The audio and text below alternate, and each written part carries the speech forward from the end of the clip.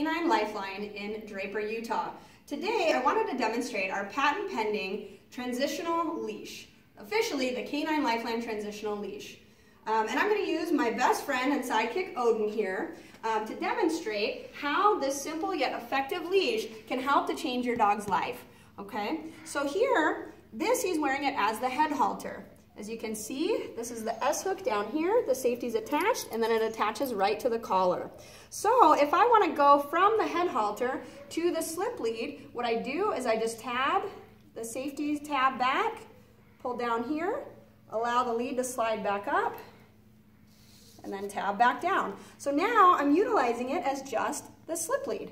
If I wanted to go back to the head halter, I open this back up, grab right here, slide, adjust up onto the nose, and then come back here and tab this back down. Thank you, Odin. You're always such a good helper.